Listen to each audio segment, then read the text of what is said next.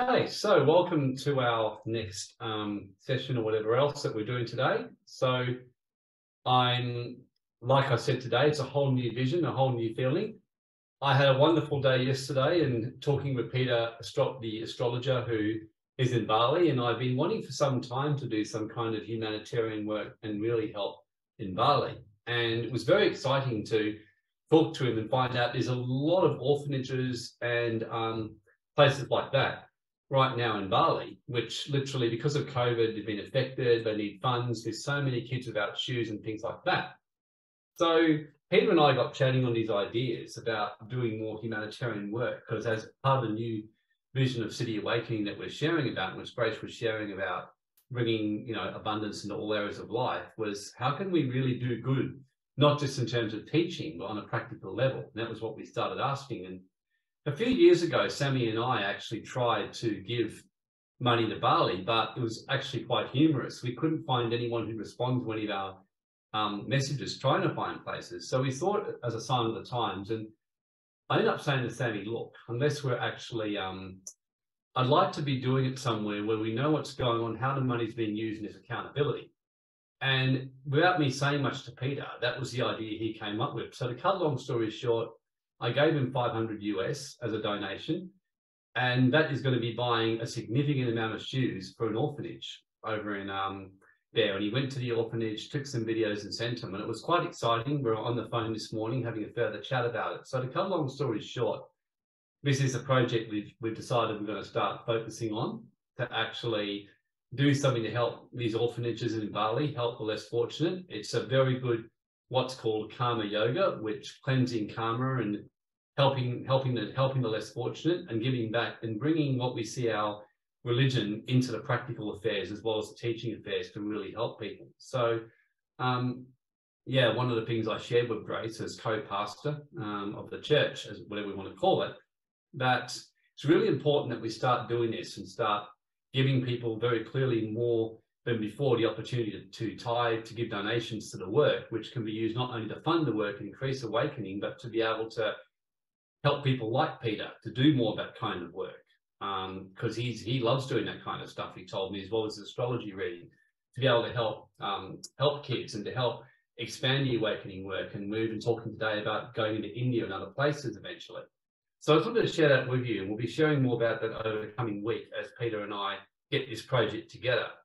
So if in principle you like that, just type a Y in the text chat if that kind of interests you, because we're looking at even then possibly assuming that of even turning it into some kind of proper foundation or work that will actually give back to help help humanitarian projects and the less fortunate. So if anyone's kind of resonates to that or is interested with it, just type a Y in the chat. I'm just curious to see who gets a good feeling about that. Because for me, it's quite exciting. I really get very excited when doing things for people, which for us, we actually take as normal. And I've seen the example of my cousins who are missionaries, like um, Kelly Chisholm and um, Leslie Hewitt, you know, Leslie's past, my aunt, who did extraordinary work in Cambodia and helping after the Pol Pot regime, and my cousin Kelly and what she's done for Rwanda after the genocide, the poverty, the rape of the women, and the way they've been involved in setting up healing groups and making a huge difference. And I've always admired and been excited by what they've done and speak, as some of you know, almost in reverence of them. And so to actually now have some involvement myself, but I've always wanted to have something where I know what's going on. Peter went there, he's getting the orphanages to give him plans so they don't just spend the money, like how it's going to be used. The plan is I'm going to actually fly into Bali and do a pilgrimage in the next four to six weeks and go with him to temples and go to these orphanages, meet these people and actually see firsthand myself what happens. So it's something that I never quite thought I'd do on that level, but it's it's exciting. So it's a bit of a new dawn for City Awakening to awaken the cities, not just in terms of teaching the practical, but you know, teaching the spiritual stuff and the esoteric, but practically getting in there and making a difference. And I know this was always one of Sammy's dreams, who is my partner, for those who don't know, who died 18 months ago, was to actually go and help these kind of places. So anyway, that's just what I want to start with sharing and very grateful to Grace for stepping up and getting this moving and helping lead a lot more of what's going on. So today I'm going to be sharing with, I know for some of you you're here because you're quite excited by the possibility of hearing Neville Goddard who and learning about this. And this is he's one of um, I know few people, many people's favourite teachers, and with good reason. I mean, Neville Goddard was the pastor of the New Thought Church, I think it was over in um over in basically Mississippi or somewhere in America, and made a huge difference in people's lives and prosperity, relationships, really by teaching the Bible more in a very what it really is, an esoteric map. So rather than seeing it as such a literal book, the way many of the religions have taught it to date, I'm not dismissing the fact that some of these events have literally happened and there's evidence of that, but he looked at more the esoteric mind mapping that you can see from the scriptures and what they actually teach you in terms of consciousness. And how, and how the scriptures is one of the most amazing like maps of the subconscious mind and the power of how to manifest what you're looking to manifest. So let's just start with the prayer of Yeshua. I always like to start and activate that and just invite the higher councils, the archangels, the those of the order of Enoch and the order of Melchizedek and Yeshua, and just uh, invite that that and feel the blood of Christ surrounding and protecting this work. And I'd like to know who would like to come on and read the Lord's Prayer. Just type a Y or just come on, take the mic for vote. If someone happy to come and do that, it'd be nice for someone to read it.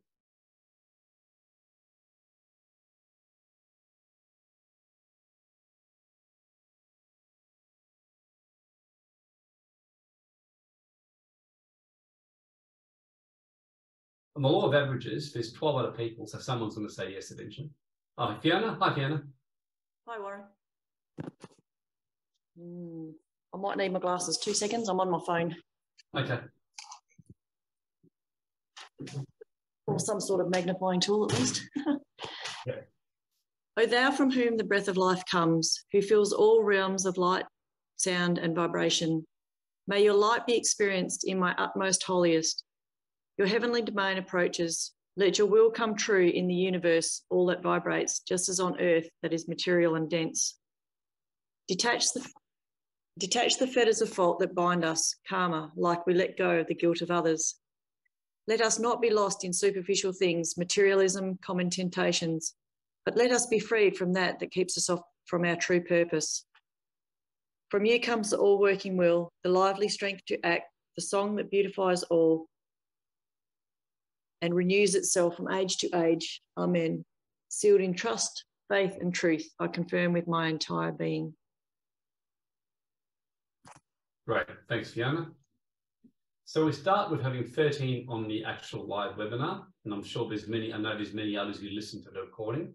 So 13 is actually a very sacred number according to the um, Pistis Sophia book and the Keys of Enoch and even the Bible. There was Jesus and the 12 disciples. The 13 always talks about a day of miracles. Um, so as we say that, we dropped to 12, but we had 13 at, when we at that point. So all about miracles and things like that. So it's a good number in terms of the miraculous is what Neville Goddard teaches about. So today's word I got was the I Ching, from the I Ching, was I got this. And a bit of an unusual one, really. I was kind of like, okay, not quite sure what it means, but I'll read it. It may resonate with people, it may not. Um, so I'm just going to kind of get it up. It's hexagram 17, which turns into hexagram 43. So anyway, let's have a little bit of a look. It's um, basically this hexagram calls for joy in leading, ignite the passion of others to tap their seeds of genius. So that's kind of a good start, you know, talking about that. So talking about a time of passion, a time of change, and, you know, a supreme success through following. In other words, by following the will of heaven. So that's what this generally talks about. So impelled or drawn into moving forward, um, you're called to follow. In other words, follow the leading of the Holy Spirit or the leading of Spirit. That's kind of how I took this.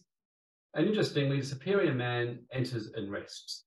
So it's really a good time, like like for me, like I saw that straight away, the pilgrimage. It's a good time to follow the will of heaven, listen to the voice, and generally a good time to go reflecting, go deep into yourself, and allow the winds of change to take hold of your life. That's what this is overall saying. Um, lines two and three is interesting. It talks about letting go of the old immature habits that we have. In other words, the old ways of doing things as a child which to me just there's an individual and there's going to be group levels of group. It's just letting go of the old way of doing it, where we're just kind of being functioning at one level of existence, where we're moving to the next level of greater maturity. So it's kind of a warning not to cleave to the little boy, in other words, the old way of doing it, and not to follow what is inferior. In other words, go back to what's not important. So having immature attitudes. So not to surround with the incompetent. So there is a little bit of a warning there about increasing the goals and standards and getting rid of anything inferior, weak, and so that, and get away from product, you know, from productive comp. In other words, staying in lower level ways of thinking and consciousness. And certainly Neville Goddard's teaching today will be teaching how to improve our thinking, the way we see things, and even setting higher goals and standards for ourselves. So it's interesting what it says here that many people think as young children and throughout their adult lives do not think any differently than they did as children. They kind of consider to think as if they were still six years old. So, in other words, it's saying really move beyond a baby way of thinking and start to move to maturity. To me, the difference between a child and an adult, a child kind of passively has fun, they sit back, but don't really take responsibility for anything, whereas the adult takes responsibility. They step up, they rise to challenges, they set goals and standards, they grow, they move with the times and think responsibly. Then the next one, which kind of follows on, it says, really, really good. It's actually talking about letting go. So this follows on perfectly. So line 2 talks about moving away from the inferior and moving to superior. I could not think of a better hexagram to fit in with what we're going to teach today, because Neville Goddard's teaching is all about letting go of inferior thoughts and feelings and inferior attitudes and ways of being and goals you set and starting to set bigger ones. I've been getting this message personally for a few days now. I've had a few challenges in my life over the last couple of weeks I've been dealing with. And it's been interesting. Even when I was at the chiropractor, it showed up. Just don't focus on the problem, just move on. Move on with your life, cleave to the better. And Neville Goddard says that. He says your outer world reflects your inner world. So if you, if you don't like the outer world, it's all coming from what you're thinking and feeling. And so the message was, has been to me for the last few days, is really cleave and think about what you're looking to have, not what you're not wanting to have. Think about what you like, what you're wanting to see in your life. Think about the what you're what you're desiring to manifest in your life. And think about the goals and standards you're looking to get, not clinging to the old fears and immaturities and insecurity. So, and it gives you clear guidance by staying with the strong man. In other words, by staying with the experienced way of being, you lose the immature ways. So this kind of gives you the solution to line two, which warns you about holding on to the inferior ways, and it's going to cost you and preclude growth. This one says that by cleaving to the higher, you start to move into the lower, and it just says it's advisable to make no move but to remain determined, which is interestingly is what the follow-on hexagram is. 43, which is about determination and breakthrough and pushing through. So um, harvesting, residing, and trial. So the man joins a superior people. So that's talking about different ways of thinking, but also changing the people that you associate with as well, and parting yourself from former inferior elements in your life, and starting to create new relationships with people around you and new ideals and you'll not only find what you're looking for, but your strength of character will greatly benefit. Um, so it suggests a great growth, uh, exchanging an immature belief for a mature one. So that's a really good one. A great, great, great, great message to start today. So on that note, let's get on now with what we're here to teach on, which is the feeling is a secret with Neville Goddard. So very exciting. Um, the power of the subconscious mind, feeling is a secret. So many of you have heard me teach on Raymond Grace. You know, everything is energy and energy can be transformed. But I've been more than ever getting back to using my bobber, using what I've learned from Raymond and just shifting and transforming energy and seeing how amazing it actually can be. So in other words, he Raymond constantly has his little expressions like focus on what you want, not on what you don't want. Um, books like Joseph Murphy and Neville Goddard talk about the subconscious mind and how it actually works in relation to the conscious mind. So Neville Goddard starts by saying, You're already that which you want to be, and your refusal to believe this is the only reason you do not see it. And I teach this, but every time I see this, I go, okay, this is answering things in my life at the moment which are not going like I'd like it to be. So, whatever it is you're desiring to be, you already are it, or you wouldn't have those desires. this is what he basically is saying, and what Raymond Grace said. If you actually think about it and believe it and want it, it means you already are it. Otherwise, you wouldn't be thinking about it. For example, I have no desire whatsoever to be a computer programmer. I really honestly don't. So it's not something I think about. But let's say my desire, really genuine desire, is to actually be, and it was, I had a really a desire to be a really good dancer um, for years. And then one day I realized I actually am that. Now I'm dancing. And I actually last night was invited by a client who actually works as an exotic dancer to go down, meet her and some of her friends. And we are having a bit of a chat. And I got to meet the manager of the clubs and um, just having some really good conversation. And we mainly talked about Neville Goddard and spiritual laws and things like that. And of course, they're very impressed with my ability to do my dancing and my some of my pole dancing I've done for fun. And now I was being asked about judging a competition, which they're doing, and that might happen. So I was just laughing, going, wow, this is so cool. And um, so, yeah, absolutely. Um, it's so the point is basically, I realized I always was that. And for years, it was always my dream to be pretty much mainly focused as a spiritual teacher. Then I realized that actually, well, I am a spiritual teacher. And of course, that's now what I'm doing. So Peter Spann, a, a great um, motivational speaker who I heard years ago, once said that Wayne Dyer told him when he desired, he told Wayne Dyer, he said, My desire is to be a motivational speaker. He said, Well, you already are one. He said, Just say that to yourself and tell everyone that to you, and it will happen. And he goes, Yeah, but what else do I have to do? And he goes, Don't think about the how, just say it. And he left him to do it. So for many months, that's what Peter Spann was saying. That I'm a motivational speaker and I'm one of the best in the business. And at that time, he'd never actually spoken on stage. But in due course, it, it manifested and he became one and he was doing it all over the world. So you already are that which you basically um, want to be, and your refusal to believe it is the only reason you don't see it. So I like what he says here. Change your conception of yourself and you will change the world in which you live. Don't try to change people. They're only messengers telling you who you are. Revalue yourself and they will confirm the change and it was interesting because I've had a couple of people in the last um, two weeks have some real issues with me. And what's been really pleasing for myself is how I've handled it compared to what I normally would. Normally, I would kind of do one of two extremes. I would either get very upset about the whole thing and go off at them and, and contact them and speak to them, or I would then feel bad and kind of go and, and try and fix it. Whereas both people actually thought about it and thought, I actually don't have an issue with them. I really honestly don't. I don't have an issue with them at all. In fact, I like these people. The fact they have an issue with me actually genuinely surprises me. So if they wish to come and have a chat with me, they certainly can, and I'll happily have a chat with them because I really don't have an issue with them. I like both these people who have issues with me. And so I just went back into myself and I had a look at where I was perceiving those traits in myself that they were saying about me. And I thought, well, okay, I can see that. So I just saw myself just working more on myself and how I perceive myself. So that's the basic message of Neville Goddard and what he's saying here. I remember reading a book years ago by Merlin Carothers where he says, a, a pastor or chaplain, he said, um, and, he, and Margaret Court in her book Winning Words, the great Wimbledon championships champion, said similar things. He said, ultimately, never try and change people, always change yourself. And Yvonne Christensen in her book wrote, Lord, don't change others, change me. And Joyce Meyer, who somebody may have heard who wrote a similar thing, she wrote, don't change people around me, change me. So he's pretty much confirming what's been said. Don't try and change other people. If you're having an issue with someone or someone having an issue with you, you're not going to change them.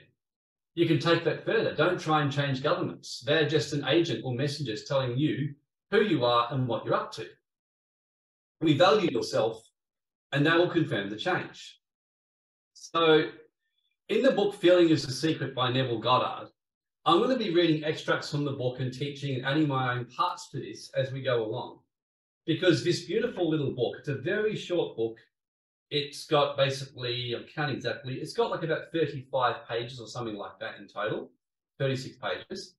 And he, and, and basically teaches you four principles on manifestation and that. So the first chapter is called The Secret, the Law of Operation. And this follows on from Joseph Murphy, the subconscious doesn't know the difference between what is true and what is not real, and is by and large a submissive organ. So the thing he says in this one is the subconscious is a submissive organ to the conscious. The conscious is the driving one, the subconscious submits. But the subconscious is what manifests. So Neville Goddard actually says that the feminine and the masculine, the subconscious is the feminine, the receptive that's designed to follow, and the conscious is the masculine desire to lead. So if your conscious can impress upon the subconscious something, the subconscious will simply take what you impress. So if you tell your subconscious you're an absolute idiot and you deserve to go broke, your subconscious, that may not be true, but your subconscious will say, okay, well, you're an idiot, deserve to go broke, I better make sure it happens. Um, even if it's a complete lie.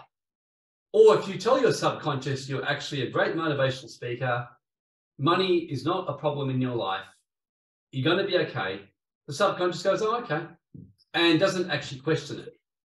And it's really interesting how Neville Goddard takes the Bible and some of the very controversial scriptures and show them applying in this esoteric sense. So, as an example, in teaching this particular principle, Neville Goddard goes to Ephesians chapter 5, which many people do not like at all, but he actually talks about it from an esoteric. He says, Paul says, Wives, submit yourself to your husbands as to the Lord. So he says, the husband is head of the wife. So he actually says, but think of husband as a conscious, wife as a subconscious, which, by the way, is exactly what Sri Yukteswar and Yogananda in the Kriya Yoga always taught this from the scriptures. They said a lot of these scriptures are more esoteric as to principle, that the feminine should always submit to the masculine. Now, it's not saying the woman submits to the man, so to speak. It's that the feminine submits to the masculine. Um, in other words, the masculine provides the leadership. The feminine is a receptive, which then listens takes and then manifests what the masculine cannot. So he's saying, think of it saying, subconscious, emotional body, submit yourself to the masculine conscious. And this is how you do manifestation. So it's quite powerful. And you start to see the Bible or any book in a whole different way. So he says, so hopefully to some of you, you're like, that's pretty cool. Because I certainly thought that was very, very cool. And it really was like, yeah, I like the way he puts that. So having a look at some of the things he says, I'm just going to read some extracts now. So he says, um, by knowing these laws of the secrets, you will accomplish everything you want. As I said, I'm just going to read extracts because consciousness is the only true reality.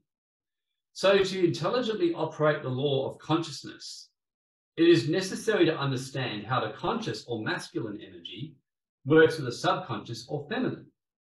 So the conscious is the realm of effect. In other words, the effect, the impact, the, the command the subconscious is the realm of cause. So, as an example, even in the Holy Bible, in the scroll of Isaiah, God says to Isaiah, You shall command a thing and it shall be done for you. So, another way of saying it is your conscious shall command a thing, and I, the higher intelligence, the subconscious, the receptive, the divine feminine, will manifest it for you. So, the conscious creates an idea and impresses these ideas on the subconscious. So the conscious says, unless you work really hard and long hours, you'll never get wealthy. The unconscious goes, okay, and does this. I was actually talking last night with the manager of this particular strip club I was at about these spiritual laws, and we're having a bit of a giggle about it. Because she said, you know, um, I made a manifestation about having a house, and I got it within a very short period of time. I forgot to also add to have a house with grace and ease and straightforward. So I've got a house which is being built, but COVID's um, kind of, what's the word, um, delayed it. And so now I'm paying for that and a rental house. And of course we laughed. So I said, yeah, you have to be more exact. And she said, yeah. When I said, well, many years ago, I created a manifestation about an amazing partner who I had great sexual, emotional, spiritual connection. I just failed to put in the grace and ease and harmony. And so it was an absolutely tumultuous one until it ended. So the subconscious doesn't know the difference. It just does what you tell it. It's pure, true, divine feminine. It just does what it's told and manifests what you tell it. So if you, as he says, hold things in and don't express and start to think negatively of yourself and the world, your unconscious goes, oh shit, you know, I'm an asshole, everything hates, and you start to create disease. So he says that the law is by conceiving an idea and impressing the idea on the subconscious, nothing is made without this sequence. It does not originate the ideas of the subconscious, but only accept what is true and the conscious mind believes to be true. So this is why it's really good to challenge your beliefs. Like, is it true you have to work long hours at an hourly rate to make money? I used to believe that for years, and I remember when I challenged that belief. And eventually I was like, well, I don't think that belief's right because I see people not doing a lot of work and manifesting large amounts of money through investing. There's royal families who have money and they don't do much at all. So really, hard work is something you do for your own joy. It's not something you necessarily have to do to make money, although it can help and it can be part of the process. It isn't the only way to do it. So when I started saying, focusing more in a different way, like, well, I can make really good money by manifesting and by creating a good result for a client and a win-win kind of thing. I noticed that started happening in my life. So the subconscious transcends reasons and things like that is what it says here. So whatever you feel you are, always dominates what you feel you would like to be. So this is a very important law, what he says. Um, whatever you feel you are will dominate what you feel you would like to be. So if you actually feel you're broke, or you feel that you're sick, or you feel that you're not very good looking, even though you might look, you know, desire to look good, you might desire to be prosperous, you might desire to have money flowing into your life very, very easy. The wish must be felt as a state that is rather than a state that is not. I've experienced this even recently, where at one stage I did everything possibly right physically I could have done, and I still was having a little bit more belly fat than I really wanted. Now, don't, don't get me wrong, I wasn't fat, I was very lean, but comparatively, there was a little bit more than there was relatively to the rest of the body.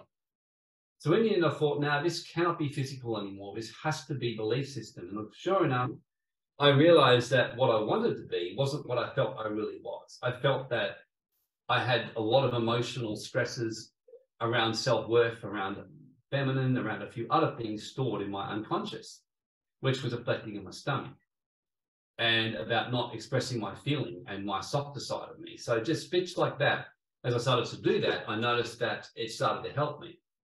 So Neville Goddard says, the dominant of two feelings is the one expressed. Saying I am healthy or I'm well on the way to being healthy is far stronger feeling than I will be healthy. Or I will be prosperous is effectively saying, I am confessing I am not prosperous. I am prosperous is stronger than I am not prosperous. So it's just a logical chain of cause and effect. So if you're saying, I will be prosperous at some stage, I will be a good business owner. I will be a great spiritual teacher. I will be making a good residual income from investments. I will be healthy in my body. I will be in good shape in my etc. I will be in a really good relationship at some stage. What you're actually saying to your unconscious is, I'm not in a really good relationship. I'm not healthy. I'm not prosperous. I have to work very, very hard. And that's the way it's got to be. Even though I'd like it to be differently. So your unconscious goes, okay, let's continue to give you what you're doing. So it says sensation precedes manifestation. So be very careful of your moods and feelings but it was unbroken connection between what you're feeling and what the visible world is around about you. And all disease is caused by emotional disturbances and suppressed emotions. All disease. To feel intensely about a wrong without voicing or expressing that is what starts disease to take place. Never entertain for any length of the feeling of regret or failure for frustration only think of the state you desire to realize. And this is not saying you ignore or avoid or pretend it's not happening, but once you've acknowledged the the disease or acknowledged the the the the, the, the fracture, it's time to focus on the remedy. So a change of feeling leads to a change of, of, of, of destiny, but a subconscious never fails to express that which you've impressed upon it and the moment it receives it, it will start to work out the way of doing it. And it will actually, the subconscious never alters except the beliefs of the man. It outpicks them to the last detail, whether or not they are in any way beneficial. So chance or accident is never responsible for what happens to you, nor is predestined fate the author of your fortune or misfortune. So yeah, it's pretty damn good I think you would all agree. It's pretty, pretty awesome.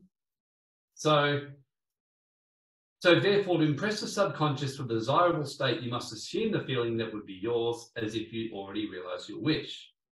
So he then says again that the subconscious is the womb of creation. It never changes the idea it's actually received, but just simply expresses what you actually um, what you've actually given form to what you're actually thinking. So it will meticulously and in detail come up and put the very image of the thing that you're looking to achieve. So ultimately, he says the subconscious always serves man and gives form to his feelings. And I love what he says here. He says the husband is head of the wife may or may not be true of man and woman in the earthly relationship, but it is always true of the conscious and the subconscious or the male and female aspects of consciousness. So he said, the great mystery is he that loves his wife loves himself. In other words, by loving your unconscious, he says, um, and, and bringing like oneness to heaven and earth. So he says, the conscious or male aspect is truly the head and dominates the subconscious or female, but this is not of a tyrant where you force your subconscious and you're driving yourself by frenetic, harsh thoughts, but it's by working in loving harmony, the two together. So by assuming the feeling that would be yours, where you're already in possession of your objective, the subconscious is moved to build the exact likeness of your assumption. In the same way that a man or woman who's tried to be forced by the other party to do something will resent and resist or do it unwillingly, the unconscious is the same. So it's easier to blame what's going on to events in the world than to admit that the world around you truly reflects your feeling, despite the fact that the holographic universe and even quantum science now is saying that to be true. It's so easy to blame everything else around you. But he said, it is always and eternally and forever true that the outside will mirror the inside, which tells you what we've been saying for a while and me, that if you don't like the government that's going on in our society, we have a real problem with the consciousness of the collective if we don't like what's going on in America and Australia with the government, with uh, laws, we have a, a degree of the government. I can only say that one conclusion leads to the other. And we've seen extraordinary results when we've shifted ourselves first and even seen things start to happen in the world around us. So a man can receive nothing in John, it says, unless it is given him from heaven, because the kingdom of heaven is within you. Nothing ever comes from outside, it always comes from within, from the unconscious. So you're already that which you want to be, and your refusal to believe is the only reason you do not see it. So seek on the outside for that which you don't feel you are is to seek in vain. We never find what we want, we only discover what we already are to be. To him that has much is given, he says, is being given. So therefore mastery or self-control of your thoughts and feelings is the highest achievement. However, until perfect self-control is attained, so that in spite of appearances you feel all that you want to feel, use sleep and prayer to aid you in getting into your desired states. And these are two gateways to subconscious. And that's going to be principles two and three we'll touch on shortly. Before I go on to principles two and three, anyone got any questions or comments?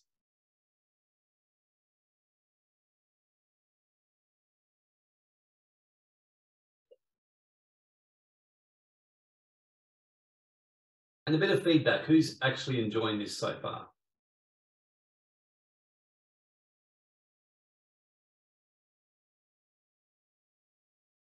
Christine, it makes so much sense. It's 11 11 Christine, you said that. So right on par.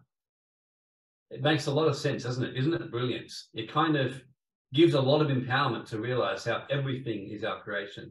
Minu says it's relevant to what I've been experiencing the last week. Yeah, well, everything I'm teaching today, I have been living completely in my own life. And as, as I'm listening to you or listening to myself speak, I'm being taught, I'm like far out. There's about three situations in my life I can see already. I've got to, I'm going to be getting back into a better being state. Fiona, it's great to get this refresher. Yeah, it's pretty good, isn't it? So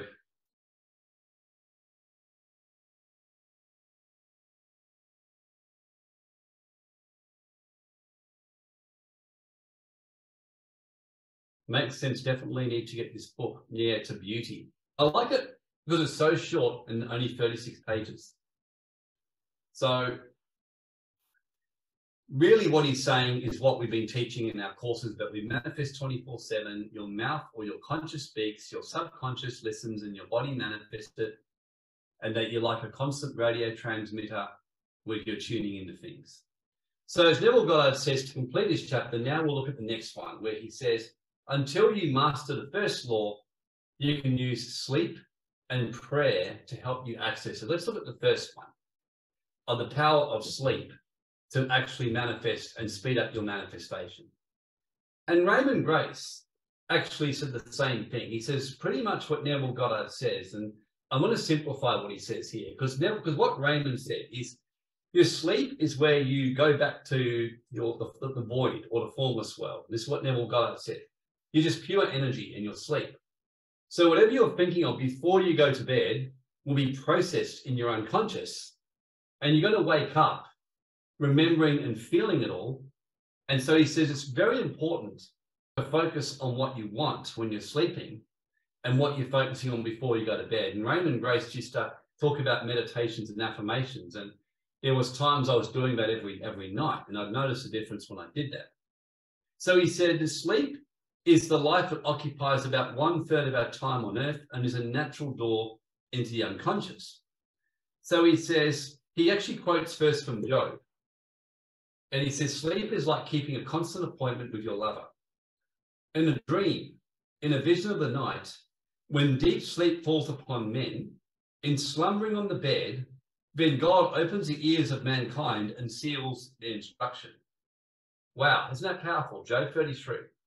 In a dream, in a vision of the night, when deep sleep falls upon men, or REM sleep as we know it, like which is generally below about four hertz in neurofeedback measurements, in, and Raymond says if you can get into a deep, um, what's called delta or REM state, in slumbering upon the bed, he opens the ears and seals their instructions. They've actually found that when yogis do great instant miracles, they're generally in that REM or delta state while awake. It is in sleep and prayer, a state akin to sleep that man enters the subconscious to make impressions and receive instructions, and the male and female become one flesh, but in sleep, the male or conscious mind turns from the world to seek its lover or subconscious self. The subconscious, unlike the woman of the world who marries her husband to change him, that's kind of a bit of a, a cheeky pun. And by the way, Neville Goddard was a big believer in marriage and a great relationship with his wife. Has no desire to change the conscious waking state, but loves it as it is and faithfully reproduces its likeness in the outer world of form. The conditions and events of your life are your children formed from the molds of your subconscious impressions and sleep. As is heaven, so is the earth. As in the subconscious, so on earth. So the unconsciousness of sleep is a normal state of the unconscious. So he said, as we said in the first chapter, to realize your dream, the wish must be resolved into the feeling of being or already have the very thing that you sought. You have to already have it. If you think it's something you want, so let's just say oh man, I just, it's so, I really want to be healthy. That's all I want to be. What are you actually impressing on your unconscious? He says, you're saying, well, man, I'm not healthy. And that's all your unconscious hears. What's the best thing you can say? I can remember years ago when I had arthritic things, I just started saying, well, basically, I'm at the moment I said I've got arthritis.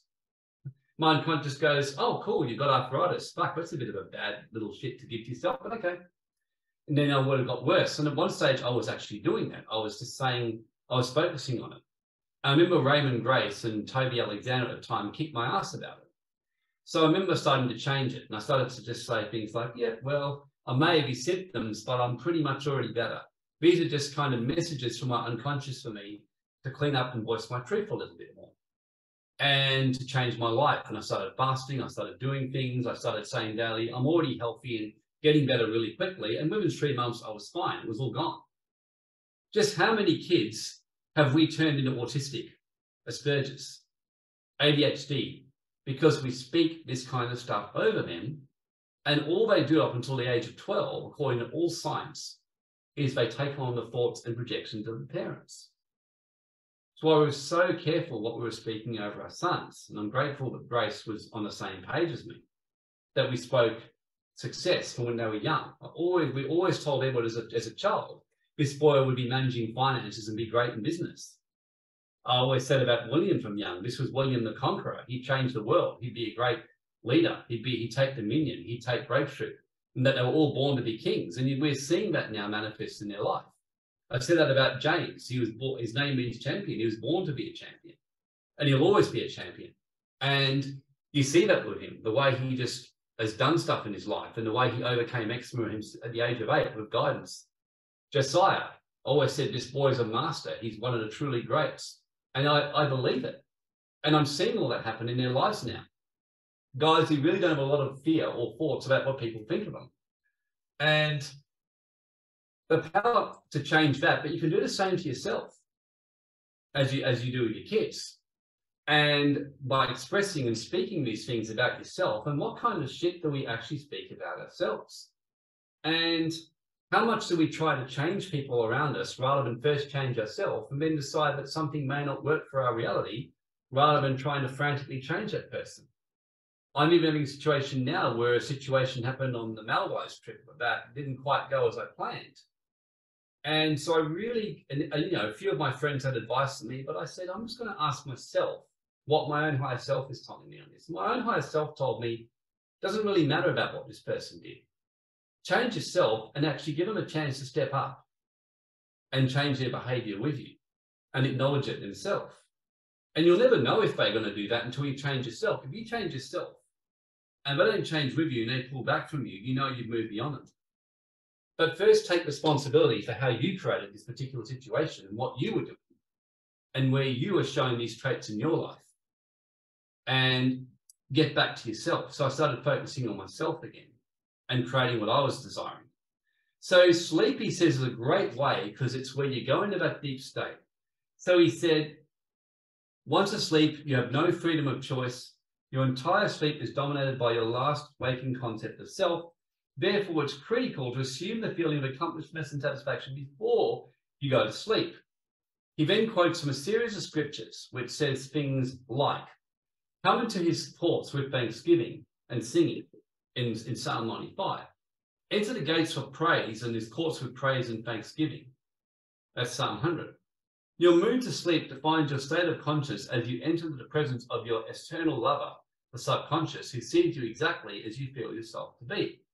If as you prepare for sleep, you assume and maintain the consciousness of success by feeling, I am successful, you must be successful. Lie flat on your back with your head on the level of your body. If you've got a health thing going on, just go to sleep. And as you're saying it, I'm already healthy, recovered, back to normal, and getting back into full state of good health. I'm already healthy again, and I'm and I'm in the pro and I'm already getting back into full health right now. And your subconscious hears that. So whether it's a shoulder problem as I or shoulder challenge I had at one stage, which has already been healing up exactly by doing this, whether it's some other thing, whether it was a knee thing, which years ago I healed doing this, or whether it was a tooth issue, like what happened to me when I was in Maldives, I started doing this and then got led to do some practical things and it healed. Feel as you were with you in possession of your wish and quietly relaxed in the unconscious. He that keeps Israel shall neither slumber nor sleep, Psalm 121 4. Nevertheless, he always gives his beloved sleep, Psalm 127. It, that, that comes from Unless the Lord builds a house, we labor in vain that build it. Unless the Lord, the subconscious, the higher feminine receptive energy, watches over our city, we lay watch in vain because all of our conscious works to try and protect our assets and protect our health and watch out for government stealing our money are in vain. That's what it's saying. Because unless the Lord builds a house, spirit, our higher unconscious, we labor in vain. You can set up every structure. You can you can protect your wealth like the world's greatest elite and you will lose your money. You can do everything right with your health and you'll have a horrendous accident or something that just takes your health from you. He says, in vain, you rise up early, wake up late, striving out of fear. Because the Lord gives rest to those he loves. The subconscious goes into a state of possession of rest and being, of great possession, knowing that it was already attained this desire, and goes to sleep in perfect peace, knowing that everything is fine. Sleep is the doors through which the conscious waking mind passes to be creatively joined to the unconscious. What more beautiful description, Song of Solomon, By night on my bed, I sought him in my soul loves. I found him in my soul loves. I held him and I not let him go until I brought him to my mother's house and to her who conceived me. That Song of Solomon, he says, feel yourself in a state of your answered wish and then relax deeply into your unconscious. Night after night, assume the feeling of being, having, and witnessing which you seek to be, possess, and manifest, and never go to sleep feeling discouraged or satisfied, dissatisfied, or that you failed. See yourself as you do believe, whether it's true or not. Whether it be good, bad, or indifferent, your subconscious will always reflect it. Thou art all fair, my love. There's no spot in you. Song of Solomon 4 verse 7 is the attitude of the mind to adopt before dropping off to sleep. Disregard appearances in the outward world and feel that everything is as you wish them to be. Signs follow, they do not proceed. So whatever you imagine, you can realize. So he said it's all about assuming the feeling, and every night as you drop off to sleep, feel satisfied and spotless so that your outward world can start to reflect your subjective inner world because your subjective level always forms the objective, uh, your objective world in the image and likeness of your conception of it. So it's beautiful what he's saying here. So choose this day whom you serve, it says in the book of Joshua, is your freedom to choose the mood you assume, but the expression of the mood is a secret of the subconscious and things like that. So he said, when you're awake, you're under compulsion to express subconscious expressions. If in the past you've been unwise in impressing this, change your thought and feeling, for only then will you change the world. Never waste a moment in regret, because to think feeling the mistakes of the past is to reinfect yourself. Let the dead bury their own dead, Jesus said in Matthew chapter 8, verse 22. Turn from outward appearances and assume the feeling that would be yours if you already had it. So accepting the end always means the means of realization and will cause it to come about. So your only freedom is your reaction and your choice. So unless you consciously and purposely define the attitude of mind which you go to sleep, you will always go to sleep in the composite attitude of mind made up of all the feelings and reactions of the day. Each reaction makes a subconscious impression and unless counteracted by the opposite, more dominant feeling, is the cause of future action. Raymond Grace gives a very practical example. He says he challenged everyone in his workshop to get water, hold the water every night before they went to bed for a minimum of three days, just to project everything you desire um, into that, what you want and not what you don't want, then drink the water because the water takes your impressions and go to bed. He said it takes three days for water to pass through your body. So in three days, if you do this, you will see it well, after the fourth day, you'll wake up and see a big difference. And, and it, it works. I, I, I challenge everyone to try it. When you awake, you're a gardener selecting seed for your garden, except the corn of wheat falls into the ground and bides alone. It, it, it bides alone, but if it dies, it brings forth much fruit. Your conception of who you are as you fall asleep is the seed you drop into the ground of subconscious. Sleep is a door to heaven, so sleep in the feeling of the wish fulfilled, as in consciousness or heaven, so on earth. That's most of the book. So the last two principles are much quicker before we go on to these, anyone got any questions or comments on these before we go on to the next one? And keep in mind, most of what he's taught has been covered in these first two. The last last two chapters are like a few pages each only.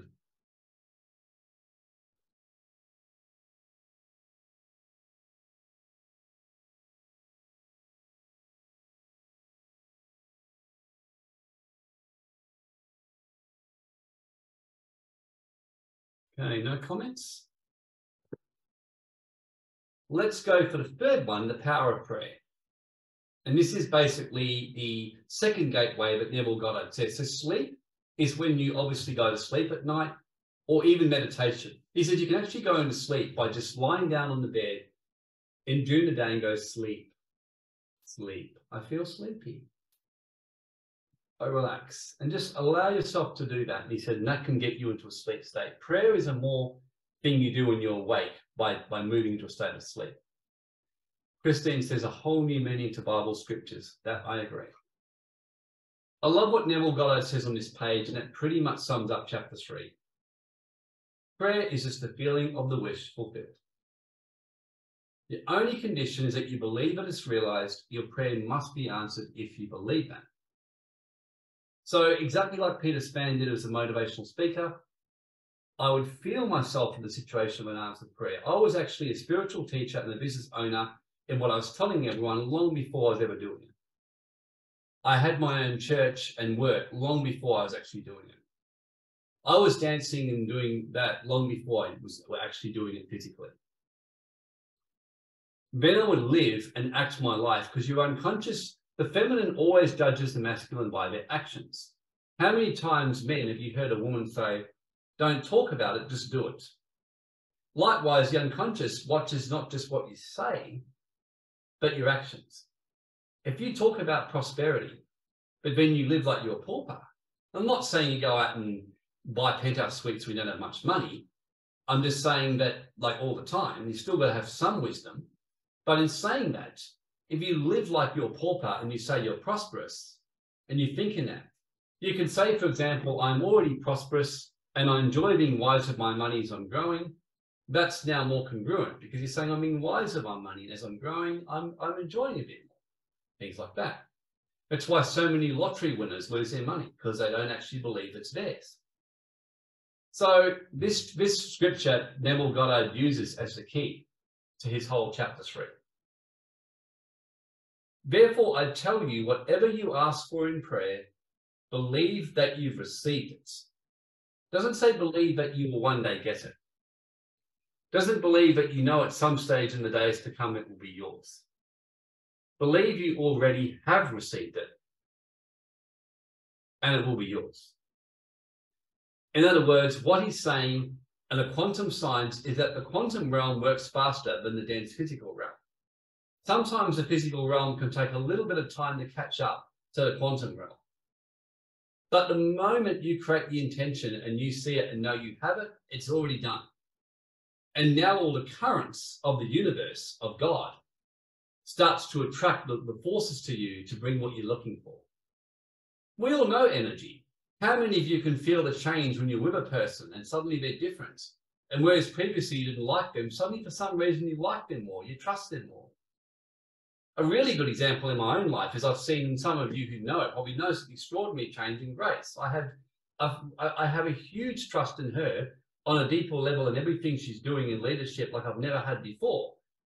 But you can see that it started because she started to believe more deeply in herself than she ever believed before. And in turn, what did that do? I let go more. Edward started believing more in himself, William. And so, in other words, but until she believed that, or until I believe that with myself, that I'm that I truly can do this. Like I had this belief that unless I'm involved working long hours in anything that I'm doing, it's not going to work as well. Whereas when I was let go, I said, what if that's actually not true? What if the, I'm actually the hindrance? And the more I let go, the more the work will prosper. And that's what I've been doing over the last month. And I've been like, wow, that's what's been happening with everything. City Awakening. I watched Grace and the boys step up more and other leaders in the team. And suddenly it's got this new direction without me even talking to them. And they all came up with these ideas without me hardly saying anything to them. I've seen the change in everything around the business and things like that. So whatever you ask for in prayer, if you know and believe you received it, it's actually yours. So Neville Goddard just simply keeps it simple. We don't just say a lot about this chapter. He said the perfectly disciplined man or woman just tunes in and knows it's an accomplished fact, speaks about it, and never gets put off by what he's seeing in the outward world around him. He just sees it as just part of the natural things that happen as you're moving into achieving your goal and just things dropping off. A bit like you're pruning a vine and things are just dropping off. On the other hand, the undisciplined, unruly man or woman finds it hard to believe what we're not seeing outside of them and accepts or rejects solely on what they see and things like that. So it's therefore critical to shut down your senses before you pray, before you can start to feel that which they deny. Whenever you're in a state of mind, I should like to, but I cannot, the less you can yield to your wish and you'll never attract what you want. So prayer is the art of assuming the feeling of being and having what you want. So you must create a passive state, a kind of reverie or meditative feeling similar to the feeling which precedes sleep. So that's what he says with prayer. It has to be similar to sleep because then the mind goes to the objective world and senses the reality of subjective state. An easy way he suggests practically to create this passive reflective state is relax in a comfortable chair or bed, lie flat on your back with your head in bed on the level of your body, close the eyes and imagine you're sleepy. Feel I am sleepy, so very sleepy, and before you know it, a faraway feeling will come and a loss of all desire to move envelops you. You feel a pleasant, comfortable rest. You will not want to alter your position. And you will um, notice that when this passive state is reached, you'll imagine you've realized your wish and the wish has been fulfilled. Imagine what you desire to achieve in life and feel yourself as having achieved it. Thoughts produce tiny little speech movements and things like that. But all you can need or desire is already yours and call your desires into being by imagining and feeling your wish fulfilled. And as soon as you come from prayer, his final comment is see it like you've just been shown the happy and successful end of a movie or play, although you were never shown how the end was achieved. So he says, think of it like you're watching the last 10 minutes of a movie, you see in the end, you love it, but you just don't know what led up to it. So he said, so having witnessed the end, regardless of any anticlimactic sequence, like a, a, a, challenge that happened in between the time, like movies often do, you remain calm and secure knowing it's been done. So before we go on to the last one, which is about spirit and feeling, any comments on this one or reflections before we finish off with this? And this is, I think, it's a two and a half page chapter, this one. This is just a conclusion of everything.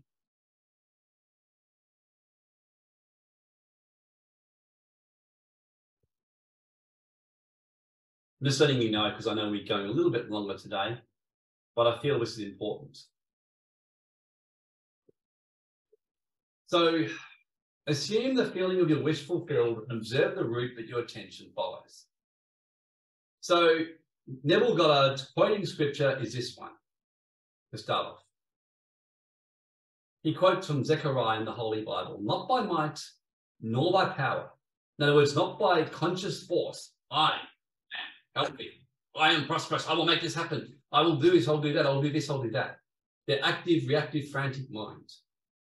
But by my spirit, my unconscious, says the Lord God Almighty, the higher self, just by my spirit. In other words, not by forcing, just by a simple command and letting spirit manifest it.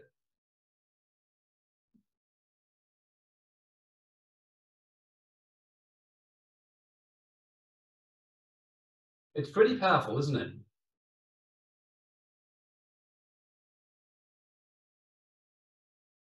So, not by might. So get into the spirit of the state desired by assuming the feeling that would be yours, where you're already the one to receive it. Thanks for the great comments, everyone. Glad you're enjoying it. As you capture the feeling of the state sought, you relieve of all effort to make it so. Why? It's already done. You don't need to force it. It's already been done.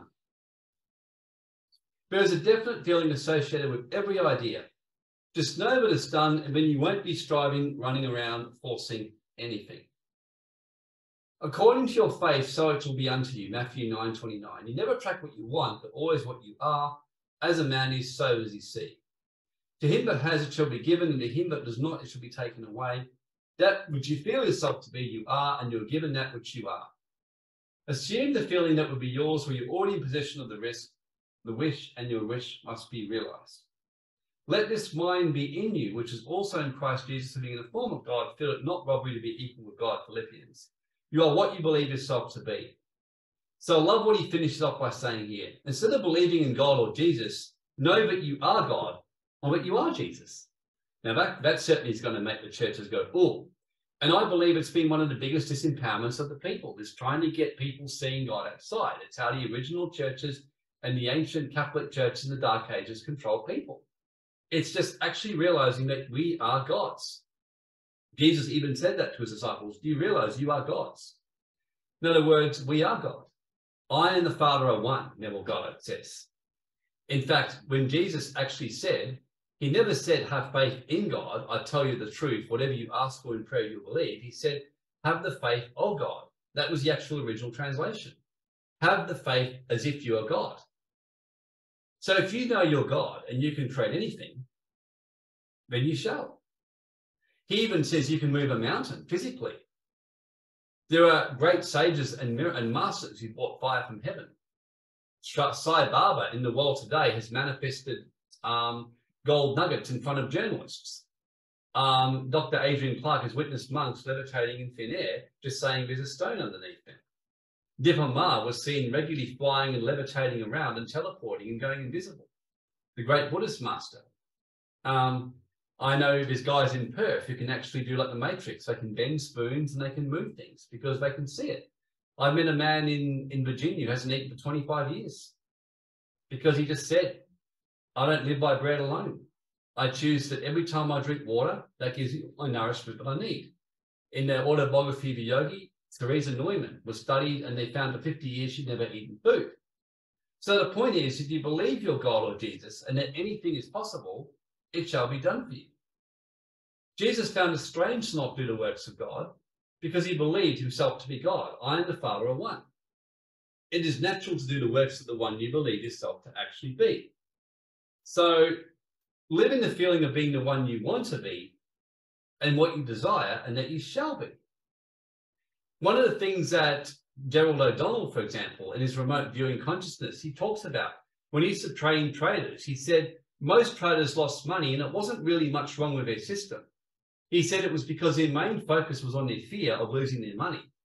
So what he said was inevitably, no matter how good their system was, they actually manifested loss of money. He said the small number of traders who were actually able to discipline themselves and focus on what they wanted and actually bring their fear under subjection, they would actually make very good money from trading.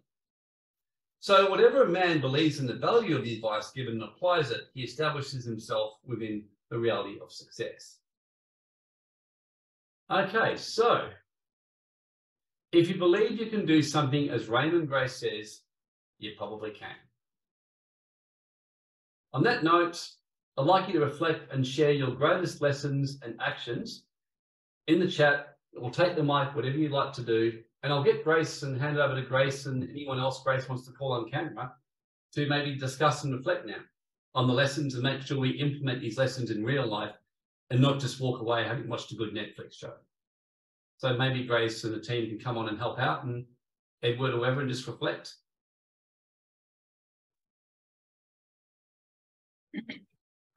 Hello. That was um that was is is brilliant. Again, it's about applying it, isn't it? Um, how do we work wisdom? And and to work wisdom is actually applying the knowledge Yes. and and it's the easiest thing to do is actually just do it Couldn't agree more. i was actually reflecting about um, sleep what came out um, the last few minutes you kept bringing up sleep and uh, i'm just because i'm one that actually hardly sleeps um, i used to sleep on average about three hours a night and I noticed um, the last few months, I've been really practicing um, to sleep longer. And I can see my state has changed, has transformed in having more sleep. Um, and it's it's something, isn't it? We take so take really advantage or um, take it for granted. But when we're working in this transformation, manifestation, and being the creator, it's so important to have that sleep, the sleep of consciousness, and yet could be conscious. So, what did you want to do, Warren? Did you want to go through practical or? Well, this is where I think you or the other things come and reflect and give their lessons. I don't really, I mean, obviously I've scanned practical things people can do, but, you know, invite people to come on camera and share their lessons like Edward or William or anyone else yeah. in this webinar who'd like to take the camera. That's what I would suggest. Actually, William's making me toasty at the moment. So you, the noise that you hear, he's making toasty on the air fryer. Dave says, I manifested Warren, you poor man. Crikey, I'm crazy. Love your message today, Grace and Warren. uh, again, I'm not your wife, Dave, so remember that.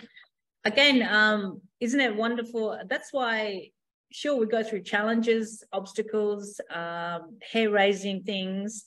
At the end of the day, whoever's in front of us is is our mirror. And so, what Warren, I mean, seriously, I've got to be honest, guys. I mean, I've known Warren for 30 years now, over 30 years.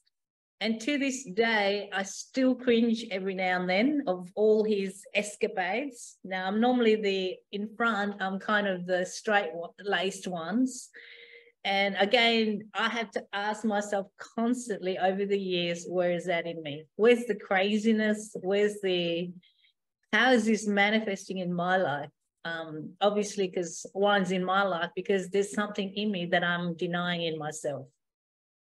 And I, I have to give him the honor of saying that he doesn't hold back, because by not holding back, it shows me, it helps me looking in the mirror. So we're we're about um, working in the mirror, aren't we? Working in our shadows, working in all the stuff that Warren has shared. Christine, I think I manifested you doing this session, Warren. I've wanted you to do this for quite a while, not that I've mentioned it to you.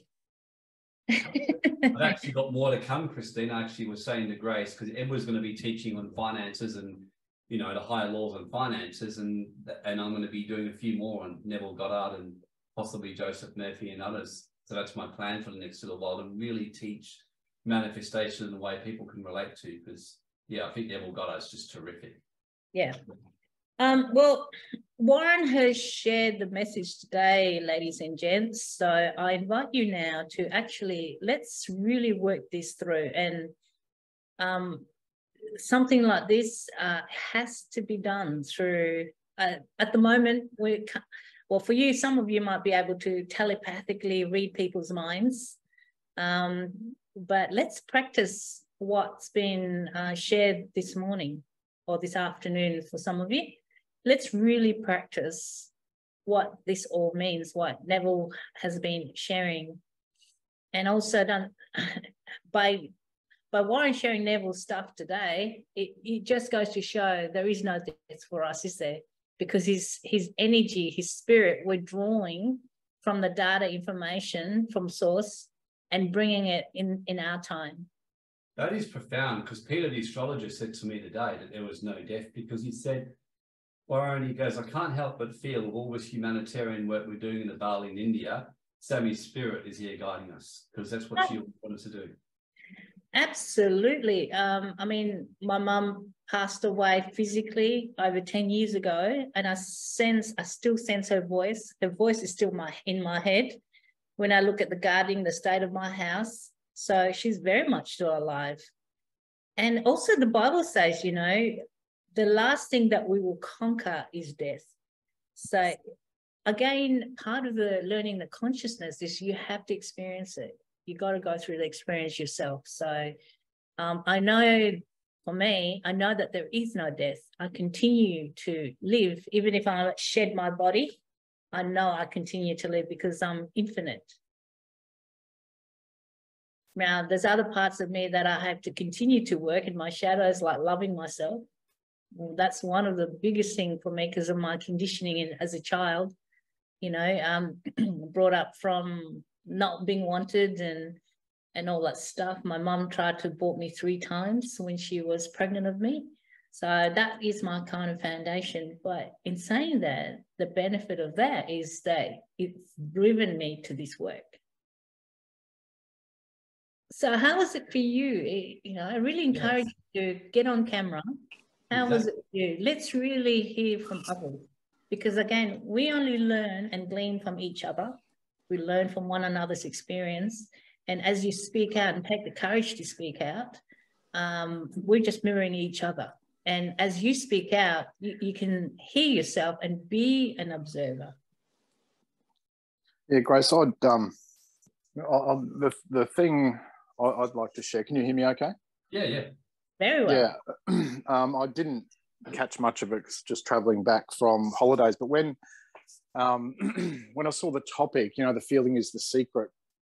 The thing that that sort of jumped into my mind was the the more modern way of saying that is that heart mind coherence. You know, so Neville Goddard says, you know, we have to feel it to manifest it, and you know, the HeartMath Institute's um, research has shown that when our heart and our mind is in coherence, it, that that's just a different way of saying that um, more I won't say ancient, but that you know that more um, or that older concept, you know. And so I guess the the the, the revelation out of all of that for, for me is that how much everything is intertwined and how much or how consistent, even though it's said in so many different ways, mm.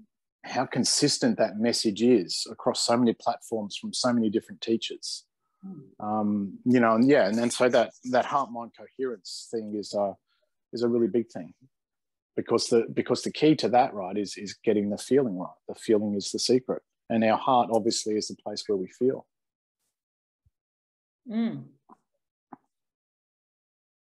What's on there, Grace? Is that um, ham and cheese, or we got chicken cheese mayo? Like, what's well done for you there? William just. Um, what did you manifest? There? cheese on toast. I wanted something simple, but one one called in earlier, so I'm going to have a cold cheese on toasty. you man, you manifested that well. I did. The great timing, wasn't it? But again, but what's that there? So I was seeking food and the food I was seeking was the physical, but really subconsciously, what I'm really wanting to feed myself and cultivating myself and feeding myself. So hence, um, Warren got me back here. It's really, I'm really hungry for the spiritual things. So it, this is just a substance, um, a copycat. so that's my message for for this. And the fact that it's cheese and it melted, so in cultivation, it's melting right into my soul, the deliciousness of it. So this is much, this is the real thing. So there you go, Steve. How's that? Well, yeah, perfect. yeah, well, well, I mean, the outer world reflects the inner world, right? As above, so below. Yeah. Great example. Yeah and again, you know, when you look at it, um, heaven is not about eating and wining and dining and, and all that stuff, isn't it? It's um, all about expansion, transformation, and where can we go next? That's why, really, why wouldn't you want to be in this path? On this path, it's full of challenges. It's full of um, things that can try to trip you. It's when you look at it, it's actually fun. I mean, it, sure might not be fun when you're in a firing line when you're in pain physically mentally emotionally but when you get out of it how many of you have experienced well well i made that. I survived it. We're all survivors. We all thrive. Judith, come on, Judith, come on, Judith. How, what's your thoughts?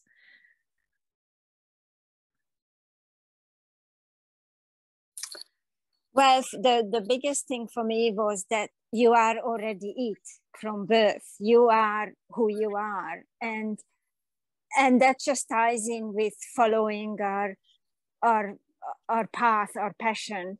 And if you don't, you just stumble through life or be, you know, doing a job you don't like or you know marry the person you don't like or whatever is in your life. But for me that's that's really the first thing that resonated with me that um, that we born with the characteristics or or the the talents or whatever that that comes through life. And if we follow it then um, we'll have a successful happy or you know all positive sort of life but uh, yeah when when you kind of go against that that inner voice that whispering that you hear within you bye.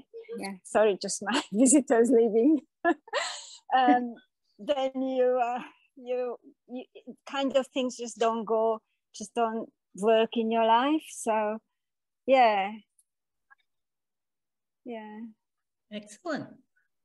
And I'm working on this myself, and uh, and it's it's also how important that we, um, when we have children, to look at them and, and just see what is their talent, what they're passionate about, and nurture that rather than trying to make them someone who they're not just because you know dad is doing that profession or mom is doing they have to follow it. They don't. They they have to follow what they were born to. It's true, you did, because um, when my boys were little, I used to say to them, whatever you guys want to do, Mm. You just do it for the best. And Mm. really, if you want to be, um, uh, you know, a rubbish collector, do it with all your might, with all your heart. Yeah. Whatever you want to do and whatever you want to create, just do it really well for you. Mm. Yeah. Mm. Yes. Mm. That's good. Christine, you come off camera. Did you want to say something?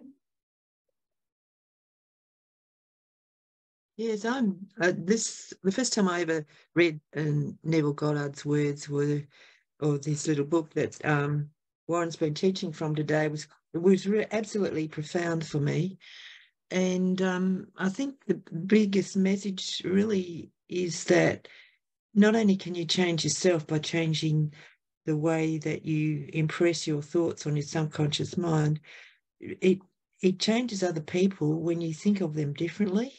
And Mm. it's just so amazing. You know, that's just incredible. And I've seen it with people around me and and it um I guess it sort of makes you softer towards other people that you would have criticized more. And I often pick myself up on that. Um, and so it's changing your whole world really because you change you're changing yourself and you're creating the things that you want. But you can also influence others by not pushing your thoughts on them, but the way that you think about them. And um, that's really profound for me. Yeah. And the other thing I, I, I noticed that when uh, Warren was reading the scriptures today, you know, thinking about them from a different point of view just, you know, changes the whole aspect of what it actually says. Mm. Mm. yeah, again, there's a huge connotation of the church too, isn't it? Um, church is us. We we are the temple. And we start when we shift our mind, our paradigm to that we are the church, we are the temple. Um, we really want to really look after ourselves. Yeah. How's your temple today, Christine? Oh, it's good. I've manifest, I've manifested great healing, Grace. So it's really fantastic. No, I really, honestly do. I'm feeling much better. It's really good. Oh, Mm. that's awesome. Awesome. Because I know Mm, you've been discussing this, um, you know, that little book for months now, isn't it? And I haven't mentioned Mm. anything to Warren.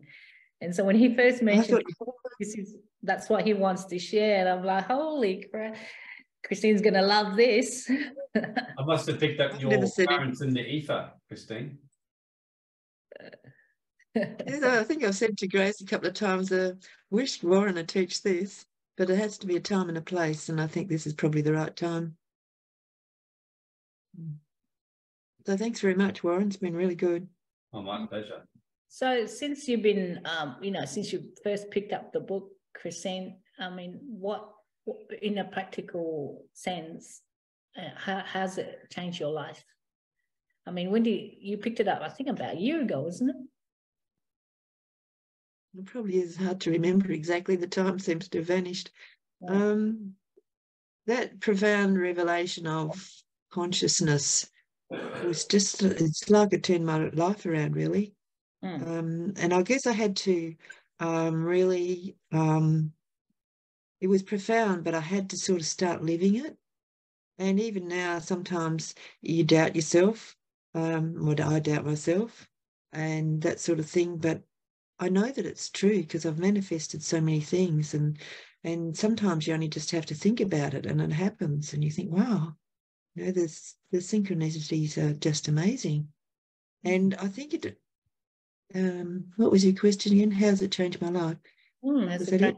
mm, has it transformed? Yeah, I, I think when things happen that um, so you you sort of in the process of trying of um, manifesting stuff, and the way it happens doesn't always turn out the way that you think it's going to happen, and so therefore you think it's something that's bad, say you not good or challenging or whatever word you want to use. But when you look at it objectively, you think, wow, it's turned out in a way that you've never thought that it could possibly happen. Um, and then so now you know I when something happens I think oh this is going to be interesting what happens now so it's really changed the way I think about things mm. I guess hmm. yeah if I could give an example for instance um, we had I was had a trouble getting an electrician and all of a sudden one manifested and they came and they did this and that and all the other thing put a plug in to run a generator if the power went out. So guess what? A few days later, the power went out, had a massive storm, plugged the generator in, and um, not all the places that I thought should work worked. So really, it was a, a it was sort of like a trial run because now it's going to be fixed properly and it'll all be sorted. You know, so that sounds like a little thing. The other thing was that he discovered that um, there's some wiring not working in our garage, and he's um, disconnected it. So in that way, there's a possibility that somebody might not get electrocuted, you know, so it sort of changes your whole way of thinking and it will get fixed. Mm. Yeah, so you just don't know how it's going to turn up. That's the amazing thing about it. Yeah. That's good. Especially you've got so many things responsible on your farm, eh? So many things that you got to uh, think outside of the square. That's it. Yeah.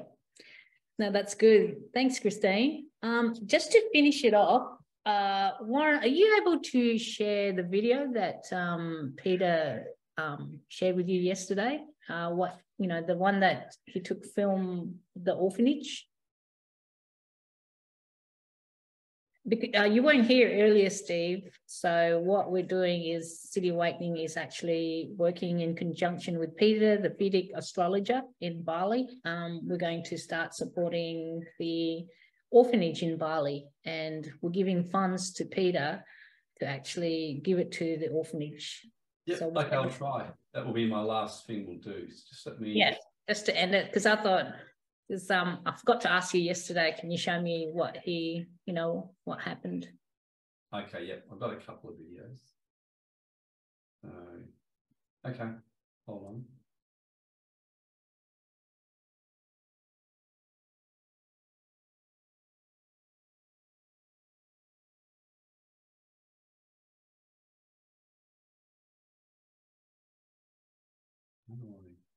Yeah, so thank you so much for Can your. you announce it? This is, uh, Milan. Yeah, hi. Hi, Warren. This is, uh, Milan. Yeah, hi, Rituj. Yeah, we, uh, together, uh, this school because they in two thousand five. The first, uh, two, two, the two thousand, uh, the second. Yeah. And, uh, after some years, something of a uh, with handicap. Handicapped disabled people, Yeah. kids with needs. Yeah. Most of them. That's what he's saying. Yeah, so thank you so much for your donation and we're making like an invoice right now for the, the, the school for shoes. Or the organizations that help all the children in Bali and the orphanages and other children have food. Yeah. So thank you. Thank you. If you by the we make sure your donation goes to the people. Yeah. Yeah. Thank you. I'll show you the second one now. Yep.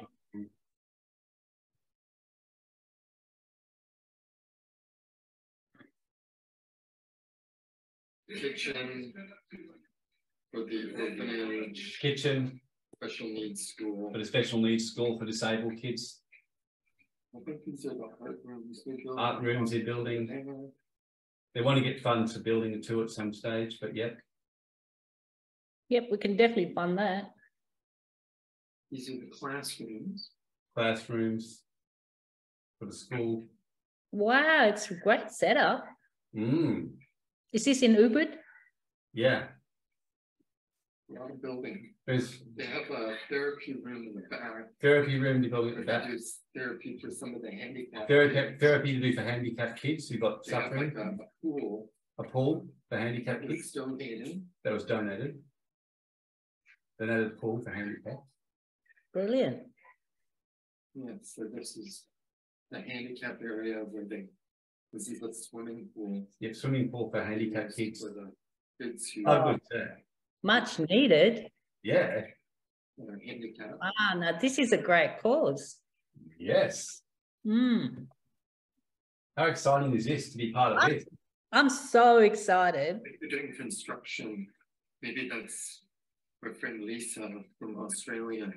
I think that's the art room Art room, that they're building. building art rooms so they can express themselves. So The beauty is we can, really we, lovely couple. Run the place. And there's no kids here today. But usually this place is packed. it will be packed. The buses here that they use, here are the wheelchairs a lot of the kids. The stage would be great to do a performance. So that's it. That is so brilliant. Any Questions on? How good's that?